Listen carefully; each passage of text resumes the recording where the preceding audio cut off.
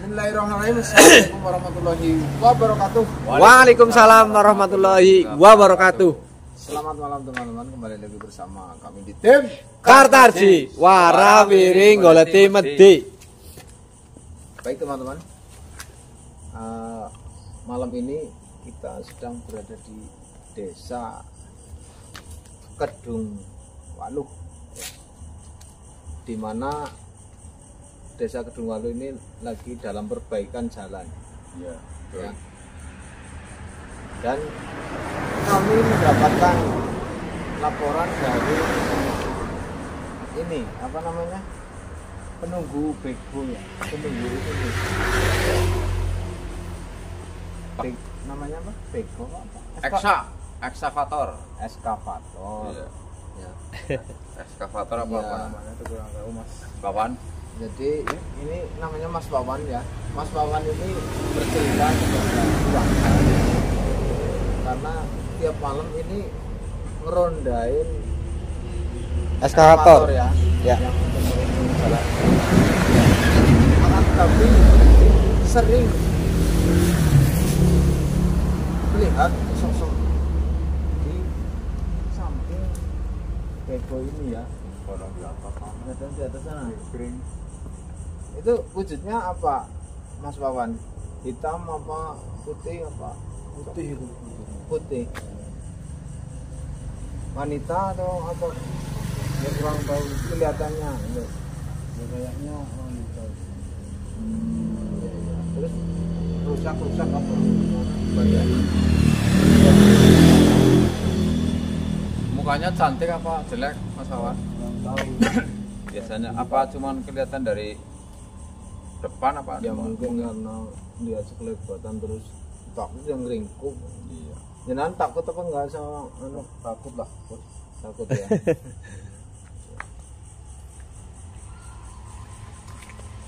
Jangan takut. maksudnya itu kenapa menurutnya Itu kepaja ini. oh,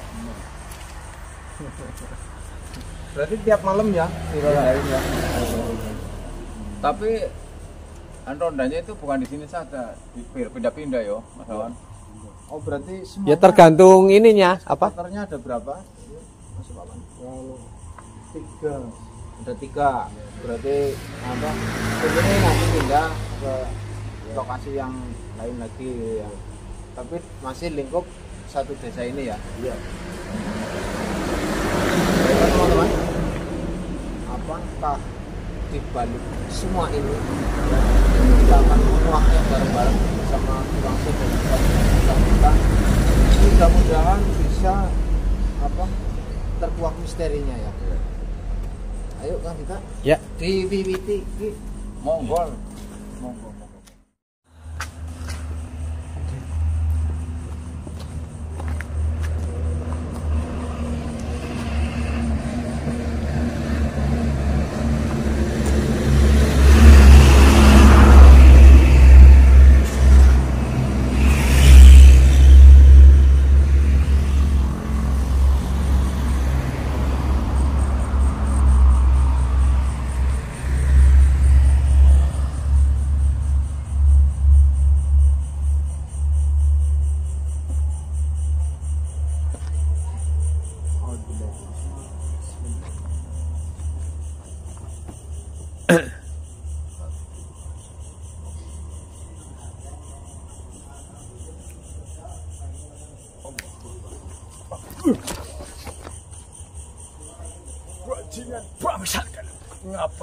mengganggu mengganggu saja? Kenapa kalian mengganggu saja? kami tidak mengganggu ya kami cuma main-main di sini saja Tapi kalian sudah mengganggu ketenanganku. Ini adalah tempatku. ini Saya sudah nyaman di sini. Karena di sini sudah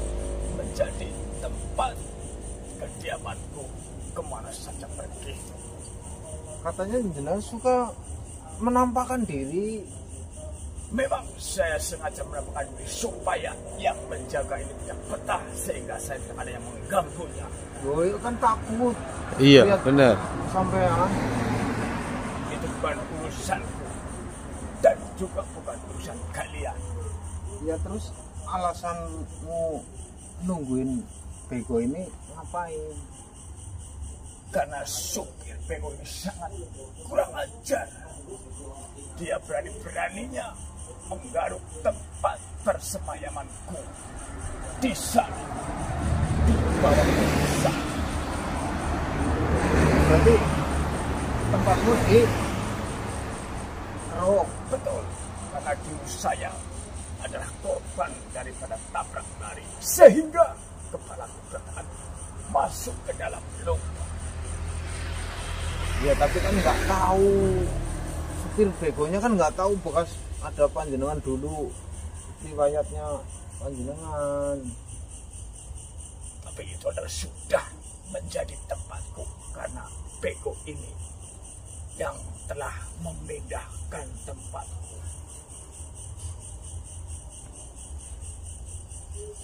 Untuk apa kalian mengusik ketenanganku? Mengganggu saja. Seperti ini, Pak. Siapa, siapa namanya? Tidak perlu ditanyakan namaku. Lu, lu. Karena saya sudah lupa dengan namaku sendiri. Lah, aduh. Ya begini ya. Kenapa alasannya? Karena kepala hancur ketika waktu kecelakaan. Begini Om Korin ya. Jadi apa? Kita cari solusinya saja. Iya. Bagaimana panjenengan apa bisa kembali ke sana lagi Iya. terus ini bisa beroperasi ya begonya karena kenapa sering dirusakin sama jenengan Sengaja saya sering merusak beko. Karena kalau beko ini selalu pergi-pergi. Sehingga saya tidak tenang dan tidak nyaman untuk roda. Ya jika nyaman ya pergi saja jangan di bego karena ini bego kan buat kerja, Kerja. beroperasi Karena sebagian dari tubuhku ada yang di ini. Loh, loh, loh. Berarti di mana ini Pak? Potongan tubuhmu di mana? Sebelah mana? Coba bisa ditunjukkan. Masuk ke dalam rantai-rantai bagian bawah. Hmm. Ya, ya, ya, ya. Baik, Korin, begini ya. Panjenengan nanti kita pulangkan di tempat asalnya bagaimana? Biar Silakan saja kalau kalian mampu. ya maksudnya kan ya Karena bukan mampu dan nggak mampu. nyaman di nanti tak bawa nanti tak anterin pulang taruh di tempatnya yang dulu terkeruk ya sama bego ini bagaimana Silakan saja kalau kalian bisa memangnya. ya tunjuk silakan ditunjukkan di mana potongan apa bagian tubuhmu di mana nanti biar apa kami ambil kira-kira kalian mampu untuk memindahkanku? Ya kan maksudnya kan lebih ringan pekerjaan. Iya. nggak perlu mendeteksi atau mencari. Di sebelah situ. sini ya. Betul. baik baik baik baik. Ya nanti tak nanti tak ambil. Panjenengan jangan mengganggu apa orang bekerja karena ini kan untuk perbaikan jalan. Ya. ya. Baik. Monggo silakan. Nanti tak cari baik panjenengan ya terima kasih sudah hadir Aduh, aduh. Udah, gimana, Mbak? ternyata dulu Iya. pernah ada kecelakaan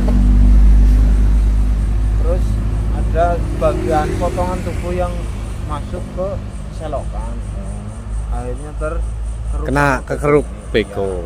malah ke bawah ke bawah. Ya, coba katanya cari di sekitar sini. Nah, tapi kan sudah lama apa enggaknya lu, Mbah? coba cari di sebelah sini kan di tadi sentral mana sentral sentral Nah itu plastik apa itu? Itu apa? Oh, berarti itu tanah-tanah yang itu menyangkut di situ, berarti mbak. Yang bagian dalam.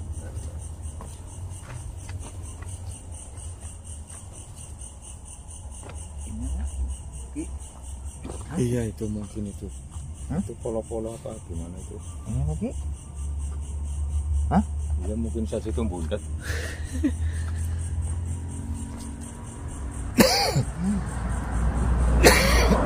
Iya itu mbak. Hah? Mungkin itu tuh budet-budet itu ya betul itu. Ya itu tekem aja. ini kayaknya Ki. auranya kuat sih Iya betul. Oh iya ini. Berarti ini kebungkus ini ya bang. Ini potongan baju-bajunya bang.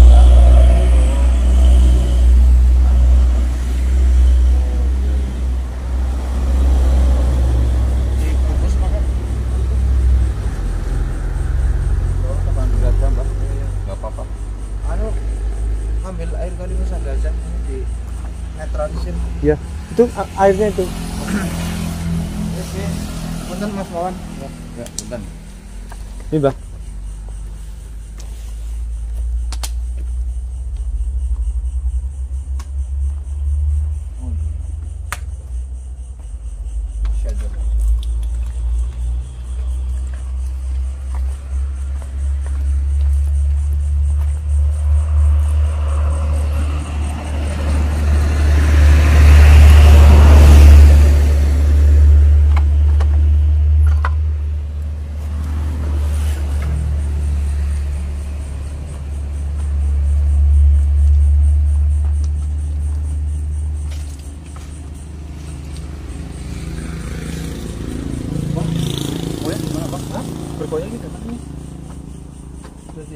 Jadi, Astagfirullahaladzim.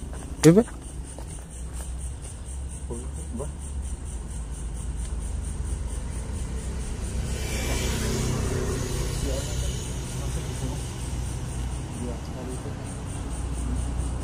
Baiklah teman-teman, kita akan apa anterin potongan tubuh ya. Ya. Kita langsung berangkat ke kalian sebelah sana nanti ya.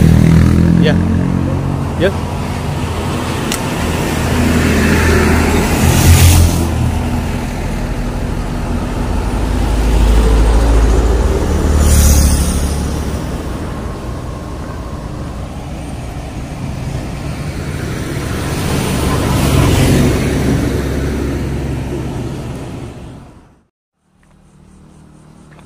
Ini di sini.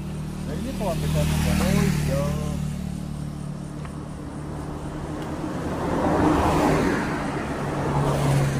Nah, ini kan Hah? Mana? Bekasnya kan mungkin di sini garuk-garuk nih.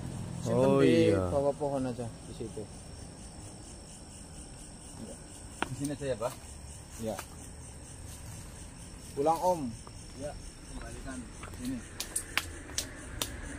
Di tangan, di tangan. Di belakang.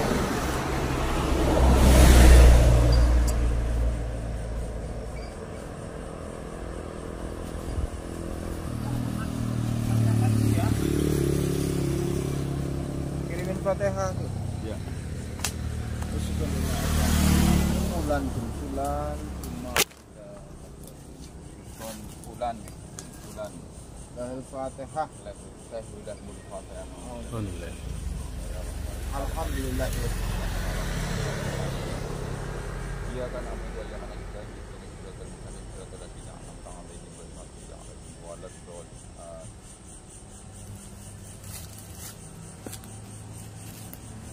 Lihat teman-teman. Cuma kayak gitu doang.